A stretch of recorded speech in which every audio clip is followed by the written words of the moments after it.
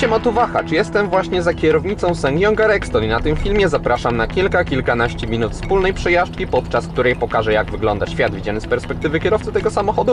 Powiem ile to auto spali na dystansie, który wspólnie przejedziemy, właśnie zresetowałem komputer pokładowy i też powiem o tym dlaczego uważam, że nowy Rexton jest zupełnie nową jakością, jeśli chodzi o modele Sangyonga i co najbardziej wpływa na taki mój osąd.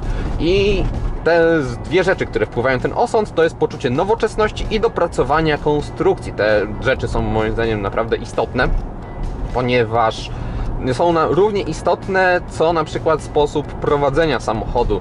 Taki z mojej perspektywy, one w równym stopniu albo nawet w większym wpływają na odbiór, odbiór danego pojazdu, ponieważ sposób prowadzenia jest determinowany przez to, z jakim samochodem, jeśli chodzi o gabaryty i klasę, mamy do czynienia. Duży SUV wiadomo, że będzie wyżej zawieszony, że będzie bardziej komfortowy, będzie sprawiał takie wrażenie, dawał większe poczucie bezpieczeństwa, że się jedzie takim, takim czołgiem na drodze, ale z drugiej strony nie będzie on pozwalał na zbyt wiele w zakrętach w porównaniu z samochodami niższymi, z jakimiś hatchbackami czy hot hatchami, sedanami. No to wiadomo, niższy środek ciężkości, lepsza stabilność w zakrętach, można więcej z nich wyciągnąć z tych zakrętów, więc to już za coś. Tutaj producenci mają prawami fizyki w pewien sposób związane ręce, a w przypadku dopracowania konstrukcji i nowoczesności, tutaj już z, ograniczenia ogranicza ich tylko ich ich wola do stworzenia właśnie samochodu posiadającego te cechy, ponieważ zarówno małe autko może być oldschoolowe, może być nowoczesne, jak i duże auto może być oldschoolowe, tak jak było to w przypadku poprzedniej generacji Rexona, ponieważ to, był taka, to była taka absolutnie oldschoolowa terenówka i to się diametralnie zmieniło. Nie mówię tylko o Rextonie, ale też inne modele, na przykład Corando, to jest już nie taki stary, ale dosyć stary samochód, jeśli chodzi o rok wprowadzenia na rynek. On tam przechodził modernizację, no ale zawsze jest i w nim czuć nie tak jak w starym Rextonie tą, tą oldschoolowość, ale jest trochę oldschoolowości i też trochę tej nowoczesności w takich proporcjach, których więcej jest oldschoolowości niż nowoczesności w porównaniu z tym Rextonem, gdzie tej oldschoolowości naprawdę jest bardzo mało. Gdy się popatrzy na zewnątrz tego samochodu, no to to nie jest może najbardziej stylowy SUV na rynku, prawda? To nie jest takie, takie Alfa Romeo Stelvio, prawda? Nagle się nie robi z niego. Ale ten samochód wygląda dobrze, jakby się spytać, kiedy on miał premierę, to śmiało można zaryzykować stwierdzenie, że były to ostatnie tam 2-3 lata bo on po prostu wygląda nowocześnie.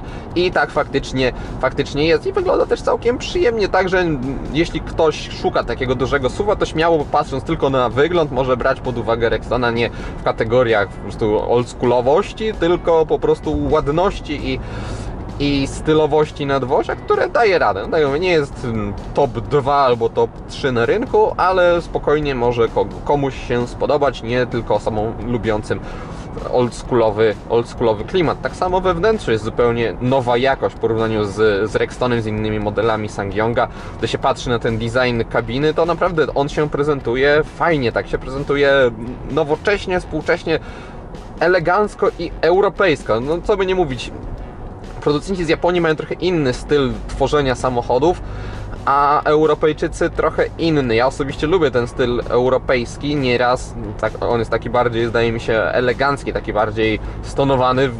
Producenci japońscy bardziej stosują tego typu rozwiązania, właśnie jakieś dziwne, na przykład panel klimatyzacji, zamiast mieć po prostu przyciski jeden pod drugim, to są jakieś te przyciski bardziej fikuśne, coś w tym stylu. No kto co lubi, ja bardziej jestem fanem, chociaż też nie, nie mówię, że nie lubię tego Mm, azjatyckiego stylu, ale bardziej wolę ten europejski jednak. I tutaj widać jednak ten duch europejski, że to wszystko jest, na przykład panel klimatyzacji jest taki właśnie klasyczny bardziej i to właśnie to też pokazuje, że to jest jednak nowoczesna konstrukcja i też dopracowana. Tutaj przechodzimy płynnie do płynnie do tego dopracowania. Jeszcze powiem o nowoczesności, tak mi się przypomniało, taki bardzo klarowny przykład tej, tego, tej zmiany, ponieważ w starym Rextonie mieliśmy tutaj taki zegareczek malutki, cyfrowy, taki bazarek lata 90., który pokazywał godzinę. W chwili obecnej tego nie ma. Mamy ekran duży LCD w odpowiednim miejscu na w gór, górnej części deski rozdzielczej. To jest właśnie tak, chciałem wtrącić, by się przypomniało. Po prostu to jest taki bardzo namacalny przykład tego, jak to się zmieniło, że kiedyś był właśnie taki cyfrowy, bazarkowy zegarek, teraz mamy duży ekran dobrej jakości LCD.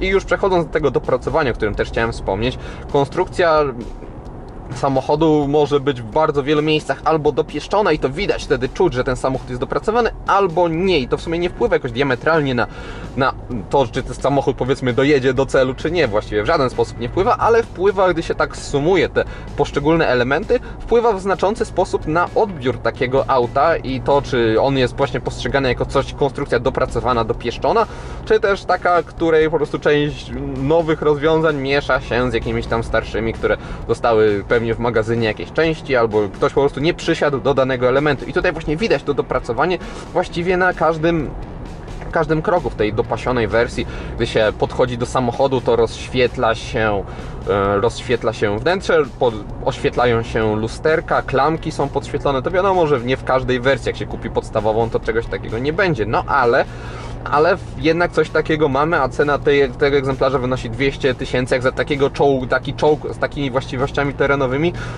to nie jest wcale taka, taka wysoka cena, biorąc pod uwagę, co ten samochód oferuje i co oferuje konkurencja. No bo jeśli szukamy takiej oldschoolowej terenówki, to w przypadku samochodów z tego typu, to mamy właściwie tylko Toyota Land Cruiser, która jest zdecydowanie droższa. Tak to mamy samochody bardziej bardziej właśnie, o, nawet jeśli to są suwy, to o przeznaczeniu takim cywilnym. Więc cena jest naprawdę adekwatna do tego, co dostajemy w zamian. Tutaj, biorąc pod uwagę duży silnik, właściwości terenowe, przestrzeń i to wyposażenie, wszystko jest naprawdę ok. I tutaj czuć, że jest na bogato właśnie, tak jak, tak jak już wspominałem podświetla się, wchodzi się do środka. Przed nami, przed oczami mamy duży ekran, który bardzo dobrze działa, to znaczy te wszystkie menu są szybkie, takie łatwo się łatwo się po nich nawiguje, wszystko jest fajnie dopracowane, ten sposób obsługi, animacje tego, tego ekranu. Więcej o nim wspominałem w teście, link jest w opisie, tutaj nie mam w naturalny sposób możliwości pokazania bliżej tego ekranu, no ale będziecie mogli go sobie, polecam, rzucić okiem na test. Tak samo Hmm, chociażby wszystkie trzy, cztery szyby są auto. To też jest taki drobiazg, który nie zawsze jest nawet w tych droższych samochodach, jeśli chodzi o dopracowanie elementów, takie jak na przykład tutaj te pokrętła, one działają po prostu dobrze, to znaczy odpowiednim oporem, odpowiednie jest takie kliknięcie podczas przejścia.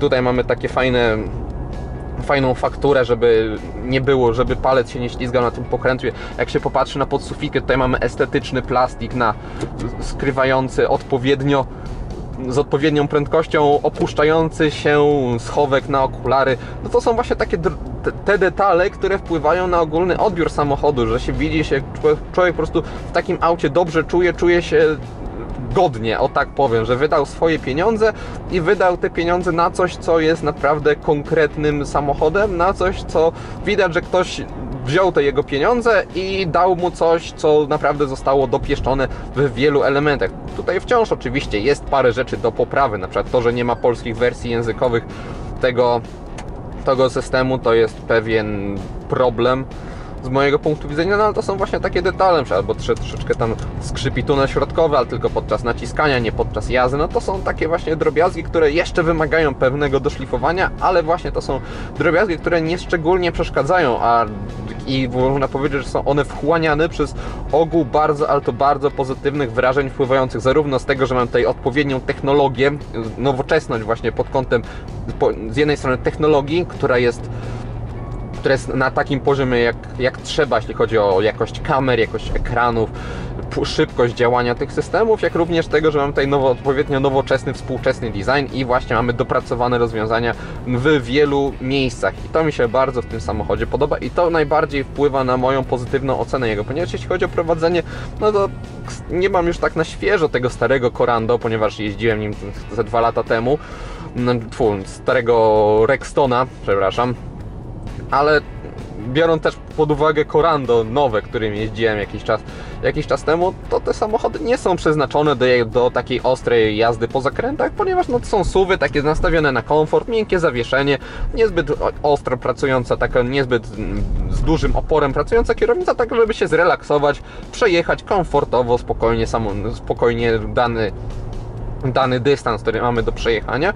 I, ta, i w tym aspekcie zarówno stary Rexon, jak i nowy Rexton dają radę i nie są jakoś diametralnie innymi od siebie samochodami, ale w przypadku właśnie dzięki tej nowoczesności i dzięki temu dopracowaniu stary Rexton i nowy Rexton zupełnie inaczej po, po dojechaniu na miejsce się ma wrażenia z, z tych z obcowania z tymi samochodami, że stary Rexton to był taki samochód naprawdę oldschoolowy i, i, i jeśli ktoś lubił tą oldschoolowość to było ok, ale jeśli ktoś tej oldschoolowości nie szczególnie lubił, no to trudno było znaleźć argumenty, żeby, żeby ten samochód kupić za powiedzmy 150 tysięcy przy takiej konkurencji na rynku.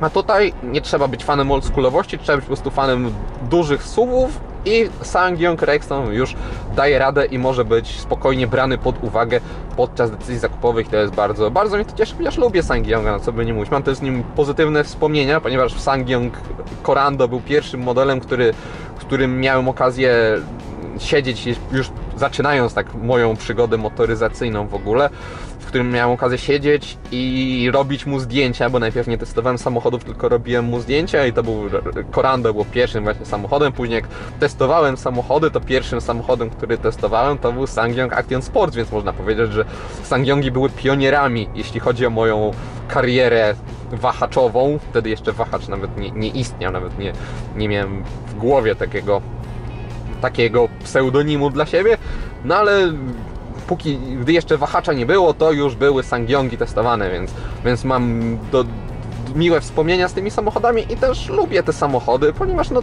są trochę wyśmiewane, trochę niedoceniane przez, przez ludzi. Część osób nawet nie wie, co to jest Sangyong, jak na przykład podjeżdżam do jakichś znajomych czy coś i mówię, że mam Sangyonga, to a co to, co to jest? Ta, czasami takie, takie komentarze się zdarzają, inni je trochę hejtują, a pokazują te samochody, niektóre bardziej, niektóre mniej, ale generalnie pokazują, że nie zasługują na, na to, żeby być hejtowanymi, bo są przyjemne.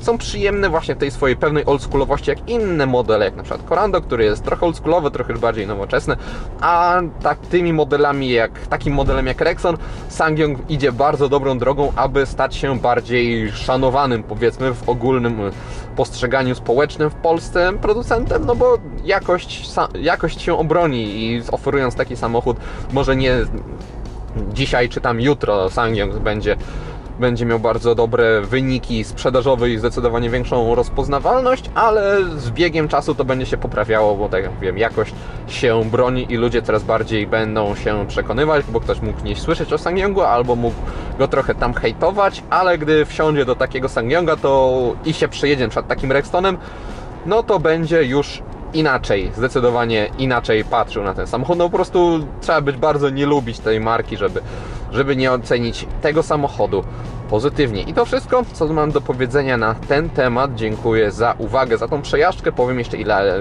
udało się spalić paliwa na dystansie wspólnie przejechanym 7,2 litra, czyli, czyli nie jest wcale źle, jeśli chodzi o wyniki. Nie jest źle, ponieważ tutaj mamy ponad 2 tony, 2105 kg dokładnie z dowodzie rejestracyjnym wbite, jeśli chodzi o masę tego samochodu, więc jest co rozpędzać, że tak, że tak powiem. Ten silnik musi dawać z siebie sporo, żeby udało się zachować odpowiednią dynamikę. No i 7,2 to jest taki moim zdaniem rozsądny wynik, biorąc pod uwagę z jakim samochodem mamy do czynienia. Jeśli ten film się podobał, zachęcam do dania mu łapki w górę. Będzie mi z tego powodu bardzo miło. Jeśli ktoś nie ma, zapraszam też do subskrypcji kanału ponieważ kolejne materiały na Wahacz TV pojawią się już wkrótce. Na razie!